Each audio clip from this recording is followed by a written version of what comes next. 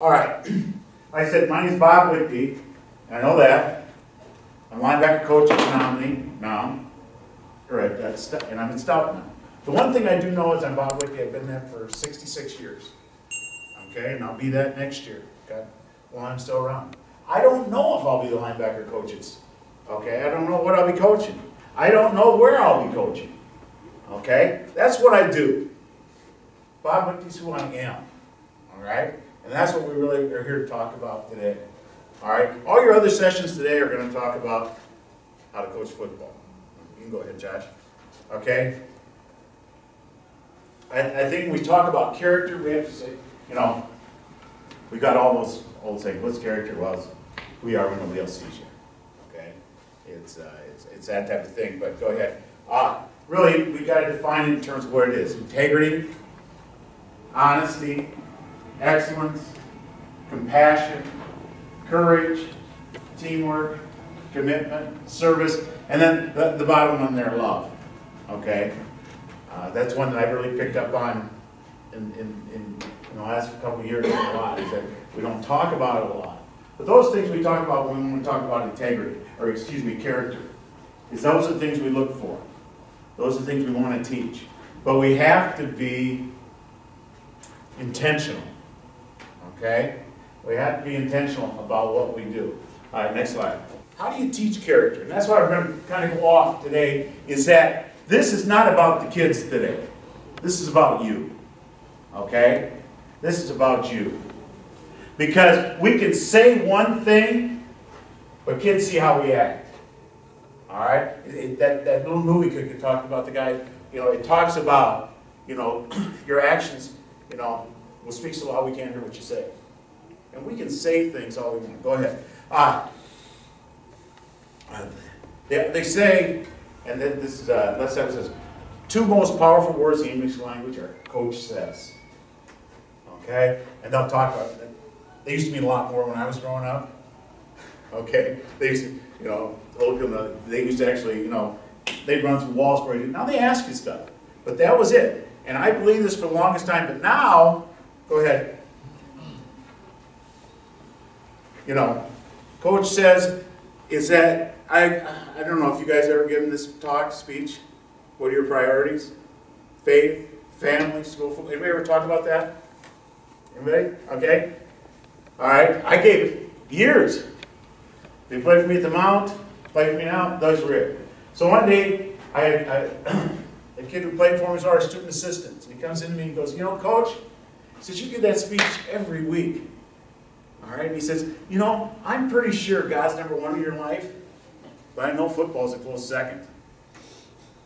Okay? So I'm giving this speech every week, and these kids, but they're not, they're not hearing that. They're seeing what they see, which is, that's it. You know, family, I remember when, I, I, when I the we are going to do a family vacation before the season. So you know what we did? Well, we left Ladysmith, we drove to Platteville and watched the Bears practice. Okay, that was, that was, and then, oh, I took them to the Dells, all right? Well, it just so happened that the week before I got a call from a mom whose son was thinking about backing out, who lived in the Dells. So we went to the Dells, and then, oh, Josh liked baseball, we went to a Brewer game, and then on the way home from Milwaukee to Ladysmith, we went through Green Bay and took in a Packer practice. Family. You know, I can tell you how much my wife, oh, I did stop at the house in the rock for my wife and that whole thing. But that was it. Okay? What did my kids hear? What did that? And that's the same with our players. They don't hear me say, they see what you do. Go ahead, Josh. No, it's what coach does. If I don't honor my family, players aren't. Okay? And do I let them? Okay? Do I let them? If somebody's sister's getting married, God forbid, during the season, and that kid has to go to the wedding, how are you going to react? Are you going to say, well, what means more? And it's tough. It's tough. But a family's supposed to mean more. We, are this weekend, my family, uh, we turned 60, And I was the first one, we always get together on that birthday. So my family, uh, brothers and sister are over in Lanesboro, okay? And I drove in today, because the family weekend, I drive up here and speak, and I'm going back. But I missed two of my sister's weddings because I had games. Okay, why I have five sisters, so there's enough to go around. But, uh, you know, I don't know how that was teaching my kid, the kids. That's a once in a lifetime, okay? And I know games are important, I know that team. But you gotta, you gotta, sometimes you gotta look at the kids, you gotta look at their parents. All right? That may be their only sister. Okay? Uh, working with plate, we had a kid miss this year. His sister got married. And you know, plate, you know, he was fine with it. At least on the surface, he let the kid know. He was fine. Because that was important to the mom called, you know, and he placed it. Hey, if, if, if we're going to put that up there, then we better follow it. Otherwise, don't, don't put it up there. Don't put it up there. Because if you put it up there, it goes back to what we said. Where's your integrity?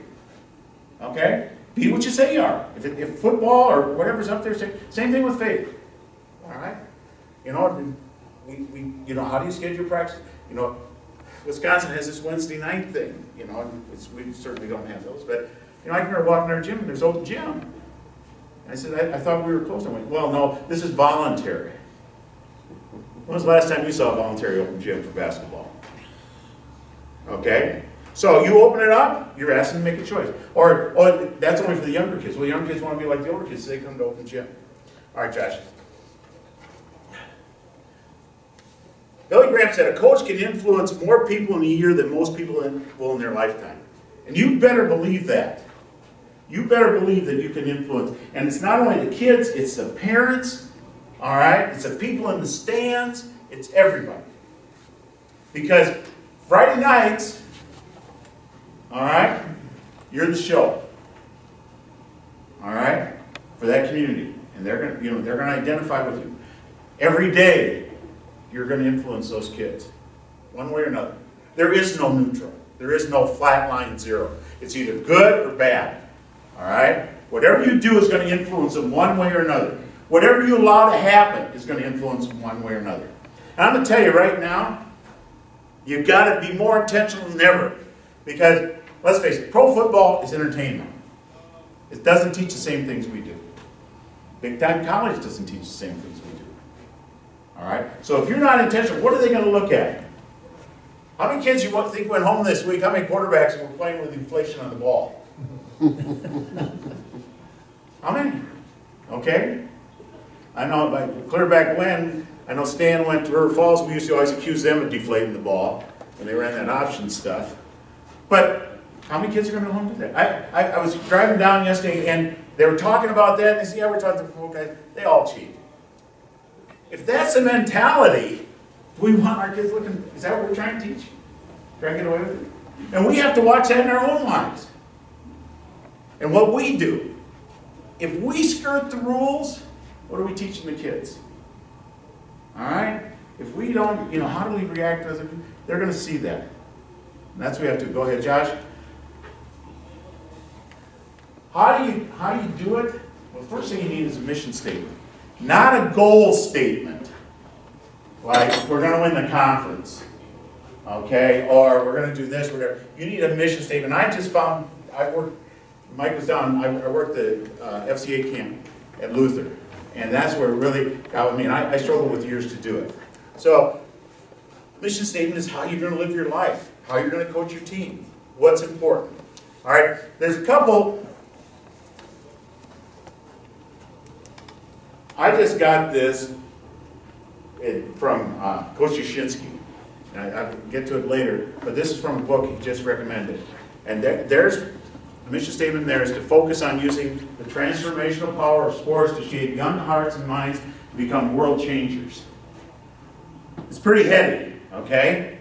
Doesn't talk about winning, but it talks about, to me, focus on using the transformational power of sport. Sports can change people. It can change lives. Okay? If we're intentional on how we want to do it. It's going excuse me, it's going to change lives one way or another. Okay? If we focus on what we do, we have the kids focus on what they do and their accomplishments, it's going to, it's to change them. Because you know, if they win, they're gonna wanna win more. If they lose, if that's, what- if that's what- where their identity hangs, they're gonna have trouble, okay? People get crushed by a big loss. I, coaching at Menomonie, okay? My first year I come in there and that's, Joe has won a lot of titles.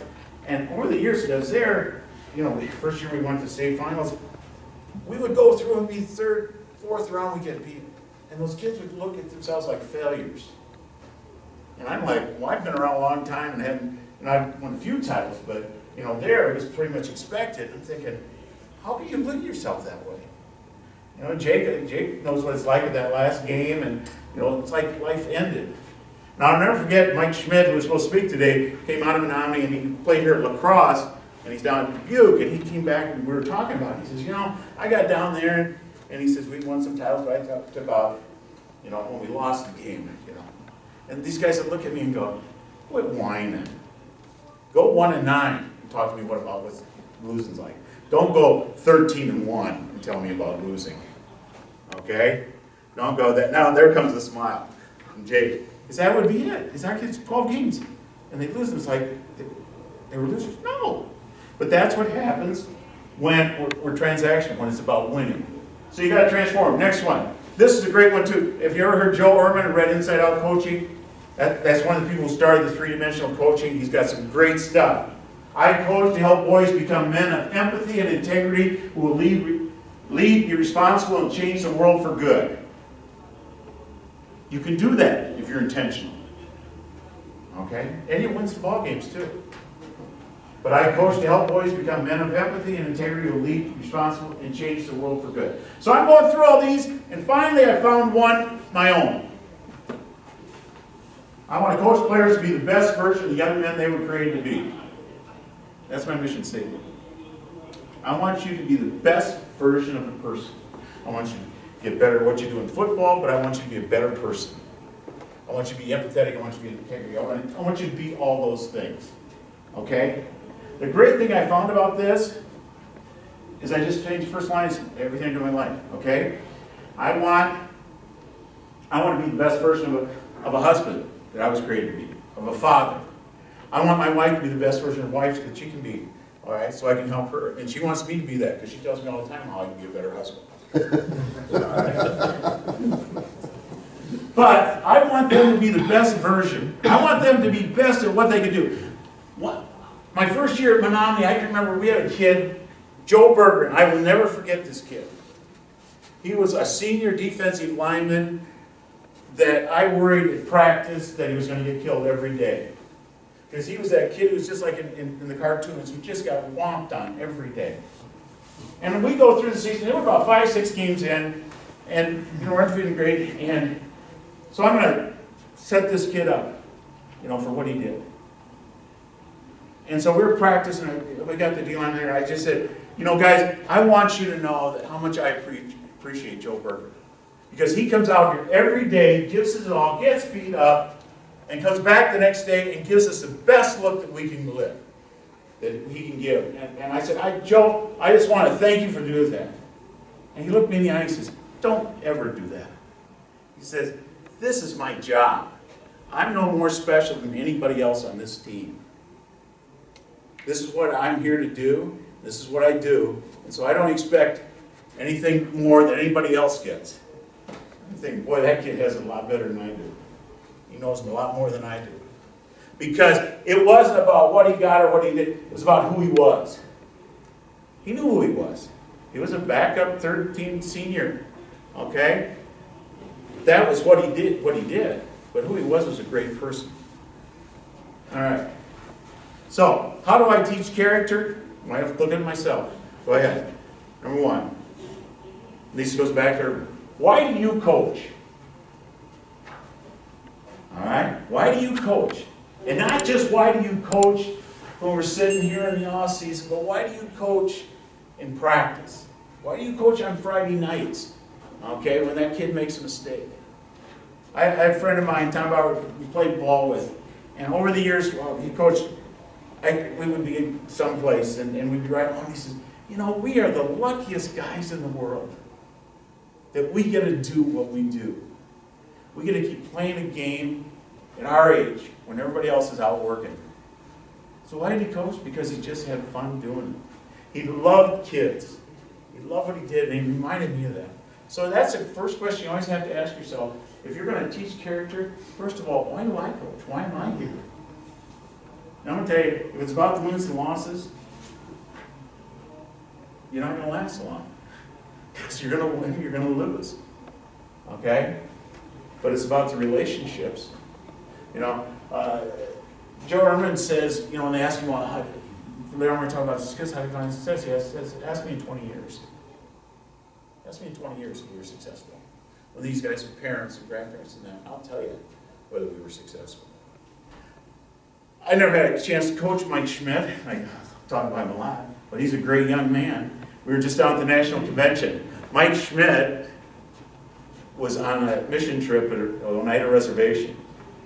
Uh, what, what, makes us even more interesting, I'm Catholic, Mike Schmidt's Catholic. He's going to a Presbyterian yes. college, and he's doing his master's in missions at the Presbyterian Seminary. So try and figure that one out. Anyway, but that's where Mike is. We're down at the convention Louisville having a great time with coaching. He spent his time at, on a mission trip. You know, why does he coach? To get better. I remember when, he, when I talked to him about, so I'm doing my master's, and the president talked to me about doing missions. And Mike goes, well, I'm not going to be a missionary. You know the president said to him? You got 150 kids, your mission, you know, that's your mission field. That's why he does it. So the first question you got to ask, why do I coach? Next one, why do I coach the way I do? I told you before, I, I played for Link Walker at Eau Claire. Link was old school. Old school meaning that, you know, Link let you know what he thought. And in my case, he let me know what he thought quite a bit. All right? Link was, it was only later, I think he, he learned to appreciate me. I guess I got better with age. But I remember thinking that I learned a lot from Lincoln. I loved Link, but that I wasn't going to be that way. So I went off and I started coaching. I got to Mount Senario and I was coaching a kid that transferred to Eau Claire. Okay, so I'm, I run into him later on and I says, what's it like playing there? He says, you know, coach, I just close my eyes when Link's hollering and I think of you. And I thought, geez, where did I go wrong? Okay? Because, why do I coach the? Because that's the way I was coached. Because I was just, I was just going down that road.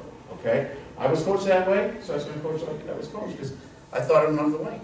And I had to think about, is this really what I want to do? Well, now I had to become more intentional. Why do I coach the way I do? Well, that goes back to I have a mission statement. Because that'll tell me how I coach the way I do. Okay? Here's a good one. How would others say I coach? Okay? Not only your players, but your parents. All right? Your fellow coaches. This is a tough one. How would, I, how would others say? Now, you know, I know we have to be thick-skinned. But sometimes we have to step back. Okay? We have to step back and say, you know, is it really me. I remember uh, Tom, or that, that, great friend of mine, you know, we would be talking about stuff, and he was a great friend. Why? Because I was coaching, I'd be complaining about something or other, and he's just looking at me and he says, quit whining. You know, we're, we're doing, you know, we're doing something we really love to do. Okay? You know, sometimes it's, it's hard. I'm going to tell you, I went over Stout this year, and I thought, I'm going to transition. I'm going to see if this is what I want to do. Do I really want to do this, okay? Part-time, it's going to be the assistant D-line coach. Okay, we had Chris Mort. Chris Mortz was a great young kid. And so we were kind of, and then we got, just before the season, it all blew up. We lost our offensive line coach uh, third week of July. We had to hire a young guy. Then fourth week of July, we lost our quarterback coach, offensive coordinator. Try and find a quarterback coach, offensive coordinator the first week of August. Okay? So I'm there with Clayton. He's going, I don't know what you're going to coach. Okay, because I don't know what we're going to do. You can be doing wide receivers, or whatever. So we're going through and everything. So finally we hire a young guy, and, and he says, uh, boy, I got to go to the offensive side. I want you to coach linebackers. All right, I had never coached a 4-2. The head coach was the linebacker coach prior to this year.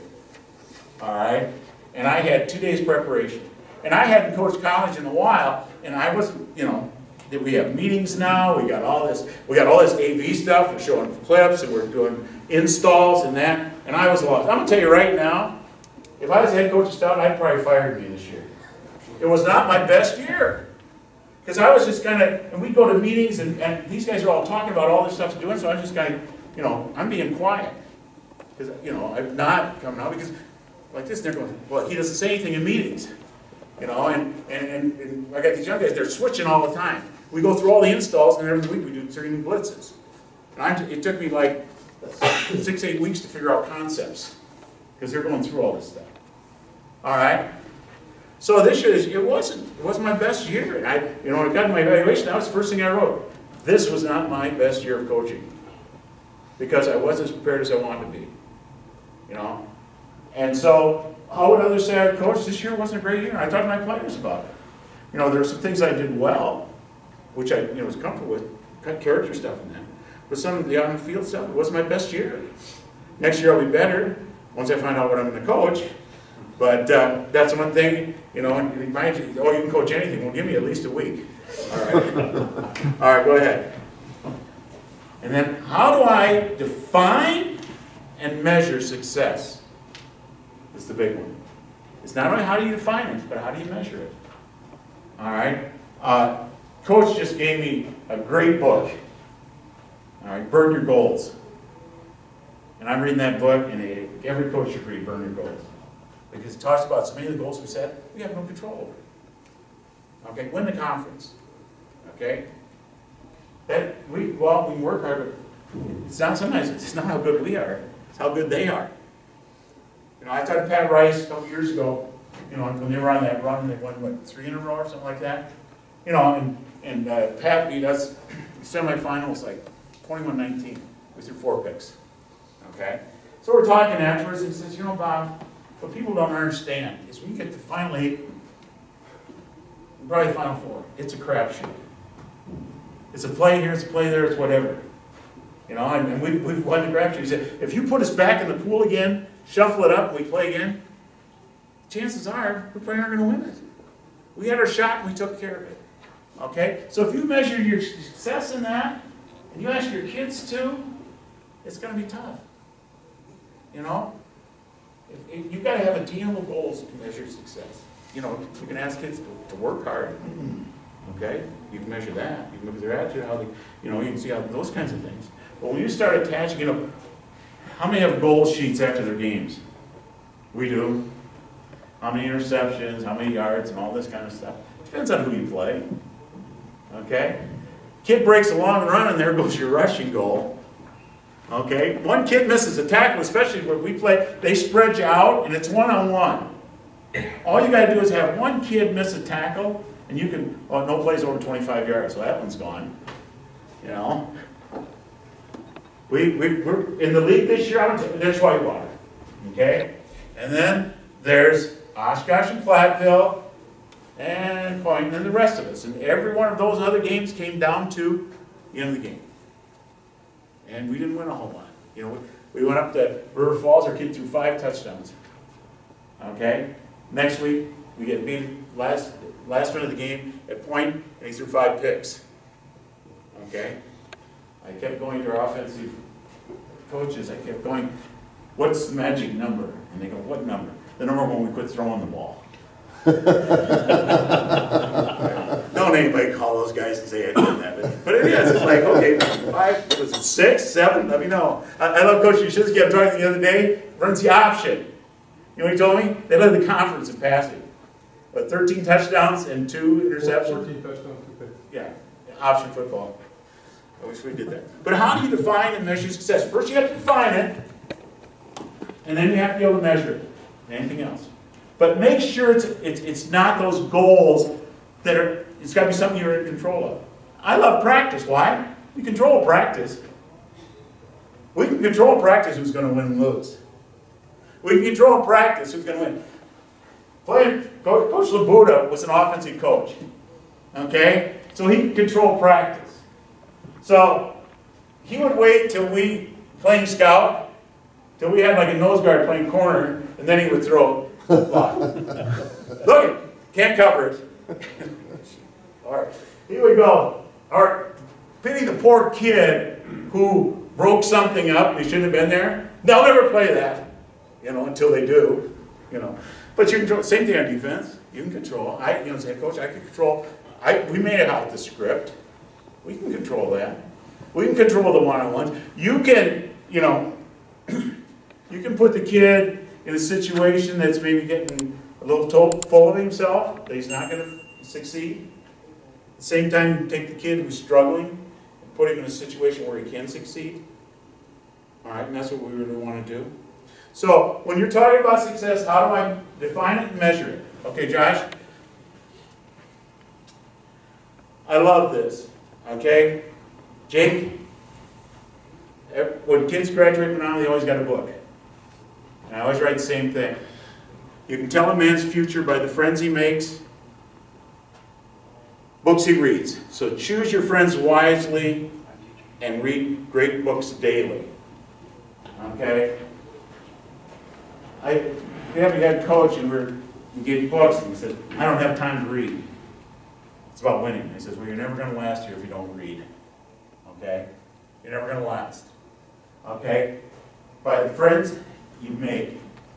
You know, I, I, I spent most of my time as a guidance counselor. And I always always tell kids, you want good grades, hang out with kids get good grades. Okay? That's how you're going to get good grades. Hang out with kids don't get good grades, you're going to struggle because when it's time to study, they're not going to study. I told you, on the team, you, you want to hang out with kids that get better? Hang out with kids that are going to be in the weight room. Hang out with kids that are going to make that choice. And that's what the Gold book talks about. That choice, do I go to the weight room today or do I go screw around? All right? When it's time, with, you know, if you choose friends that are going to be party kids, you're going to end up doing it, okay? You're going to end up going to someplace you shouldn't go. You're going to have to make those choices. It's interesting, the longer you're in this and that, the older you get, how your friends change. Because your friends become those people who would like values. Those things where it's important to them. I have a lot of acquaintances. And I have some great acquaintances in football. But I wouldn't call them true friends. Because sometimes we don't share the same values. You know, when it comes to faith, family, and football. I want to be around those people who have those same values. I want to be around the people who define success the same way I do. Now, that's not saying we want to win. If I had a choice between winning and losing, I'll take winning every time. Okay? But at the same time, I want to be around people who, you know, when it comes down to crunch time, their integrity is going to come through. They're not going to make that choice just to win and sacrifice anything else. And that may be cheating. That it may be with the player. Okay? They may put a player in jeopardy. Okay?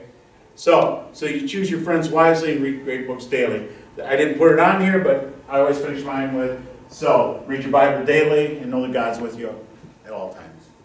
I've given that out. The whole time I was at Romney, I started at uh, at Stout. I give them a book. Some of them may be the only book they ever read, but I guess we still have books today. All right, so, four minutes. Four minutes? What you have to decide, who are your friends? Do they share your values? Do they encourage you and hold you accountable? Who's the guy that will encourage you? I remember when I got fired, the first phone call I got was from Tom Bauer. Because, you know, here I, I came home and uh, from Christmas vacation, I get a call, I get the call. See you in the morning. All right? How do I got to recruit? See you in the morning. All right. Now, I was coach of the year. Second time in three years. And I thought, hey, you know, must be getting a raise. yeah, that didn't work out well. All right. So I get fired. Okay, so who's the first phone call from Tom? You're going to be okay. All right? And I said, well, that's fine for you to say. I'm the one without a job. But he was encouraging. He was also the same guy who would hold me accountable when I was whining. All right? He's a guy who's, who's always there for me. So who are your friends? Do they share your values? Okay? Do they encourage you and hold you accountable? And that's, that's important. Who's that person who's going to, you know, not only encourage you, but when you're starting to go someplace, you shouldn't, I'm still going to hold you accountable. As coaches, we need those people in our lives. Because there are times when we'll start uh, getting close to the edge. Okay? Either with players or whatever. Okay? You know, and, and Joe is a great friend. And I think the only reason, one big reason he kept me around, because I was a guy who would come in and all of a sudden say, Joe, I don't know what we did today was the right thing to do. And he hunkered down and that, and pretty soon he'd come back. Sometimes he'd say, well, you know, it wasn't. you know, it wasn't the right thing we did today. Because we all get emotional. We need those people in our lives, okay? And I need them in mine. Okay. Go ahead, yep. Listen, the last five books you've read. We'll tell you about it. Go ahead. Um, I read Sideline, Chuck Pagano. That was like a two-day read. Okay? Finding True Happiness, Bishop Sheen. How Good Do You Want to Be by Saban? Great book. We wrote he's at LSU. Lead for God's Sake. I got that from Mike Schmidt. He's passing around there. It's kind of a, a narrative book. And then All Pro Wisdom with Matt Birk. All right? These I've read since, you know, I try, during the season, you try and get one a month if you can. Next up, First Team Dad. I just got this uh, down at the convention. Grant Taft's son-in-law. And then I've already moved Burn Your Goals up by Medcalf and Gilbert. I'm already reading that one. And so that's good. All right, next one. Also, what are the last five movies you've watched? Okay? Now, I, I have grandchildren, value family.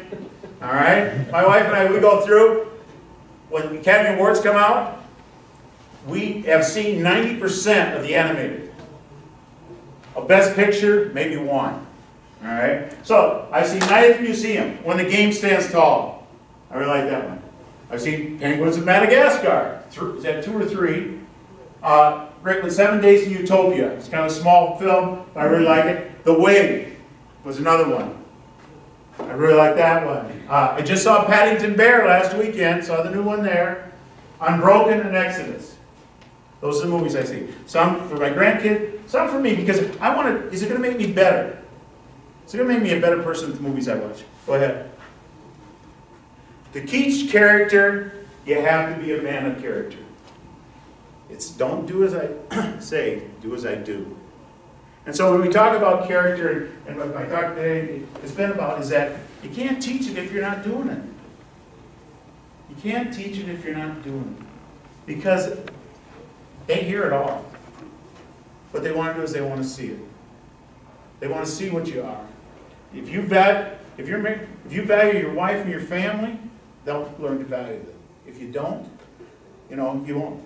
And that's one thing you read books by Coach been around. Saban's book, he talks in there.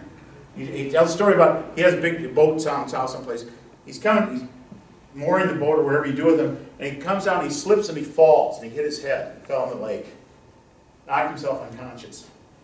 The guy was with him, pulled him out, otherwise he'd drown. and he said, the thing that got out of that is I realized how fragile life is and my, how important my family was. I could have been gone and missed so much, you know. And so he changed the way he approached. He said, you know, he's a grinder, but he's, he, he became more intentional with his family.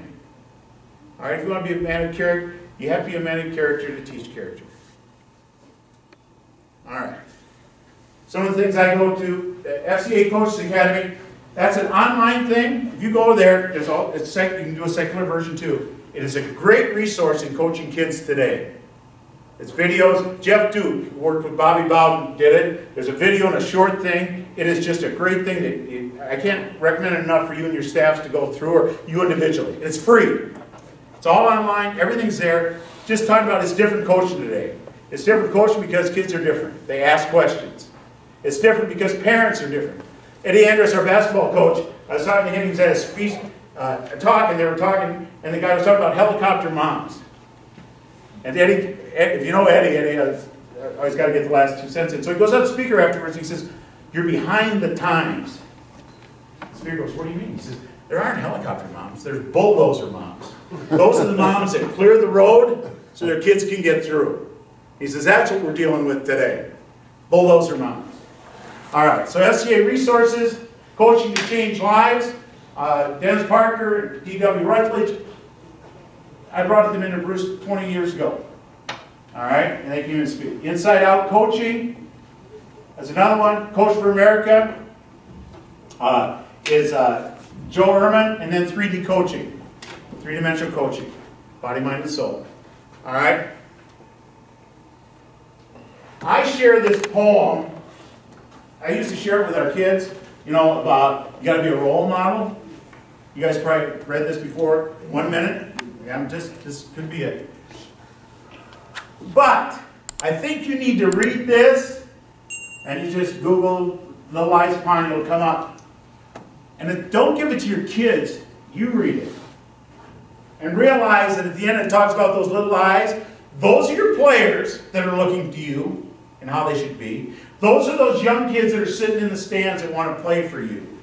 Those are the little eyes. So don't, I no longer, you know, I still give to our players, but I also give to our coaches. Because we think, well, we coach these guys, they're, no, they're still kids. They're still going to look to you. Go ahead. All right, there I am. Uh, if you want any of this stuff, get a hold of me. I, I got it on Google, I think. All right, I'm pretty sure I do. I came down today, I had a flash drive, I had my computer, and I had it in the cloud, wherever that is, because I've seen too many going on. But hey, I just want to thank you for your attention. I want to thank you for uh, coming, and best of luck to all of you. Thank you.